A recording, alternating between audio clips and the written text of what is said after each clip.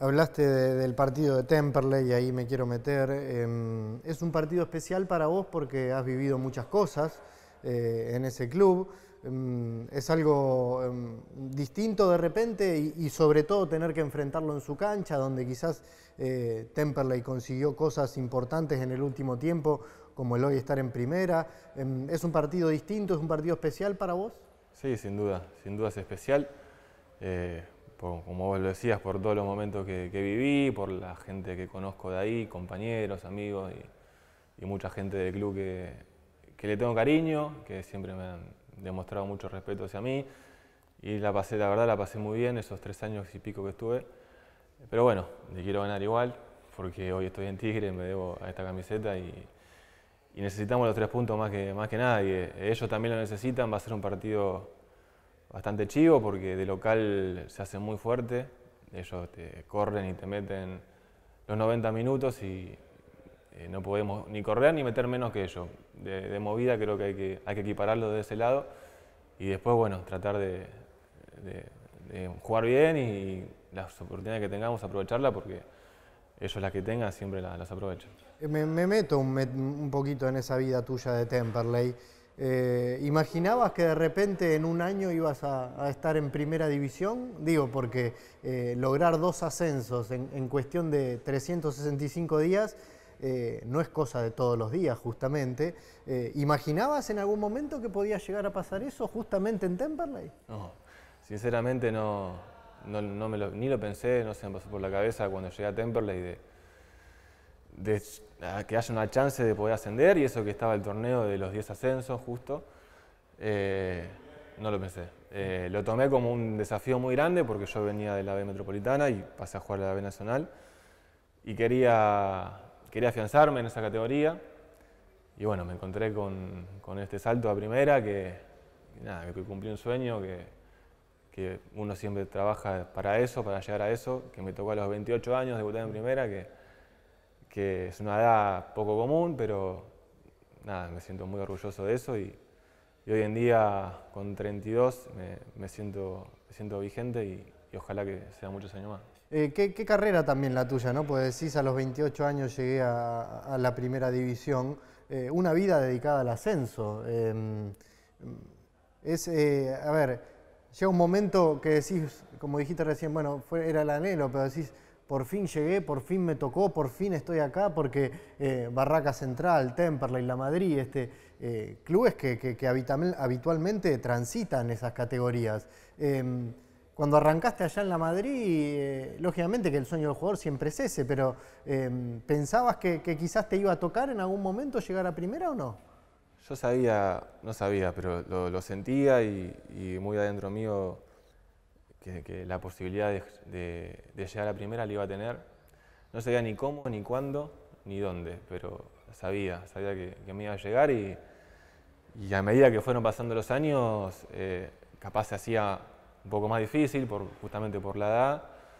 Eh, pero bueno, viste, cuando, cuando el universo conspira a favor tuyo, se dan esas cosas que justo se armó un torneo de 10 ascensos, que justo yo pasé a jugar de la B Metro Nacional B y, se dio como se tenía que dar y llegó en el momento tal vez que yo me sentía más maduro como, como jugador, como, como, profesional y como persona y, creo que, las cosas no se dan por casualidad. Eh, hablaba con Fede Crivelli hace poco y, me decía, eh, ese era, era no, no, era un equipo, era un grupo de jugadores eh, que tiraban todos para el mismo lado. Esa fue, ese fue el secreto de ese Temperley que, que, de repente se lo encontró uno en primera división. Eh, ¿Por qué Temperley subió a primera? Y el grupo fue, fue clave. Yo llegué con el grupo ya armado, la base era de la B Metro, pero bueno, con los chicos que llegamos a Nacional B nos adaptamos rapidísimo porque te digo, la, base y los referentes que estaban eran, eran líderes positivos totalmente y, y se, pudo sostener ese buen grupo a lo largo del Nacional B y de todo Primera. Creo que fue, fue clave. Obviamente que un buen grupo no te garantiza el éxito deportivo, hay muchos casos que, demuestran lo contrario, pero en este caso sí fue, fue clave la unión del grupo y, y el hambre, el hambre de gloria que, que teníamos todos para, para conseguir eh, los objetivos que nos, que nos proponíamos, creo que fue muy lindo, fue, fue importantísimo y muy lindo toda, toda esa experiencia que viví. Vuelvo a Tigre y, te pregunto, ¿por qué Tigre? ¿Por qué llegas a Tigre? Y, lo enlazo con, con qué club te encontraste. Tigre porque fue el primero que, demostró interés concreto en mí. Si bien tenía, bueno, tenía la posibilidad de quedarme en Temperley y tenía algo para ir afuera, para México, eh, fue todo muy rápido, se dio. Las conversaciones, la negociación, todo, todo muy, mucha, muy buena predisposición de ambas partes. Y, bueno, y, después los comentarios y los antecedentes de otros compañeros que, he tenido acá siempre fueron buenos, siempre en el ambiente se sabe todo, se sabe que es un club ordenado institucionalmente. Eh, mismo los dirigentes de Temple, cuando les comuniqué, les comuniqué que venía acá, me hablaron bien de este club. Así que no. No es común encontrar eso, ¿no? La verdad que no, la verdad que no. Pero bueno, eh, eso habla también de la buena relación que tenía con ellos, de, que era, era gente muy buena. Así que nada, nunca, nunca lo dudé y, la verdad que llegué con, con, muchas ilusiones. Yo me tomo todo como un desafío nuevo, eh, como un crecimiento como jugador y como, como persona. Y lamentablemente hoy no, no, no, se está dando los resultados que, que yo esperaba tener pero bueno, todavía falta, falta seis meses más y, tengo mucha fe que, se va a revertir. Ya es tarde para hablar de nos estamos conociendo y, es un grupo nuevo y somos 28, 29 jugadores que llegamos, o sea, ya no es, eh, ya no es entre comillas valedera esa excusa a esta altura del campeonato. Y no, no, porque el grupo ya, ya está armado, ya está, nos conocemos todos, ya se va, si bien somos muchos nuevos, pero ya se, armó rápido el grupo. cuando hay gente buena y, todos queremos lo mismo, se arma, se arma rápido. Ya, ya eso hay que dejarlo de lado, no, no es excusa, eh, pasa más por, por, lo que hablamos al principio de la charla, me parece, por lo menos de mi criterio, eh, el grupo está bien y no, hay ningún problema. Ahora sí, te meto cortito en, los medios. ¿Cómo es eso de que, tienen un programa de radio con algunos ex compañeros de Temperley? Eh, pero que no hablan de fútbol, eso es lo, más curioso, lo más interesante. Eh, hablan de cultura. Eh, contame cómo surgió esa idea y, en qué consiste y, cómo lo hacen. Mira, la idea surgió una vez en Mar del Plata, estábamos por jugar con Aldo Civi, nos fuimos a tomar un café a, un lugar y, en una charla así de café salió, dice, hacemos un programa de radio, pues siempre, tengo compañeros, Bollino, Di Lorenzo y un par más, siempre les gusta mucho la lectura, leen mucho y siempre salen temas interesantes para charlar. Y bueno, salió el tema de la radio y salió como, como un sueño, digamos, por tirar. Y cuando volvimos para, para Buenos Aires eh, empezamos a hablar, a averiguar por radios de la zona sur. Y bueno, se fue formando forma, fue tomando forma de a poquito. Y al poco tiempo ya estábamos grabando un, un piloto y dio todo rápido, la verdad que dio todo muy rápido y, a la otra semana del piloto ya estábamos al aire.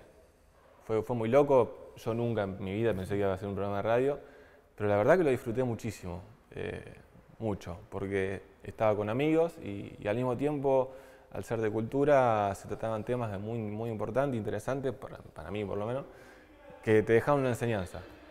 Eh, no sé, sea literatura, un poco de filosofía, se hablaba un poco de arte, de música. Eh, había una columna con un psicólogo deportivo que era Marcelo Roffé, que es muy conocido, trabajó con Peckerman, estuvo en la selección en Colombia. Y nada, la verdad que estuvo, la experiencia fue muy buena. Yo después, bueno, me abrí por motivos personales, ellos siguen haciéndolo hasta el día de hoy. Así que nada, es una, experiencia muy linda. Pero em, eh, a lo que voy, por ejemplo, eh, alguno de los tres había leído un, libro y, lo debatían entre ustedes ahí en la radio, o, cómo era la dinámica del programa, desde dónde surgían eh, los temas para llenar el, tiempo que, duraba el programa. El tema era así, elegíamos un tema específico para cada programa con una consigna. No sé, por ejemplo, los miedos, ponele. Entonces, hablamos, uno de ellos dos, el Tiki o Bollino, que leía mucho, hablaban, recomendaban un libro relacionado a los miedos, que de los miedos, bueno, se sacaba el tema, interactuábamos con redes sociales con la gente que nos escuchaba venía un invitado, eh, todo relacionado al tema del, programa, digamos. Y así fuimos sacando al aire mucha gente conocida, periodistas, eh, no sé, eh, vino una vez un árbitro de fútbol, ex, jugadores también. la verdad que es un programa muy, muy rico en cuanto a, información y a, a, diversas culturas que, lo disfruté mucho. Gastón, gracias y esperemos que esto cambie. Dale, esperemos que sí. Gastón Bujanich, charlando un rato con nosotros.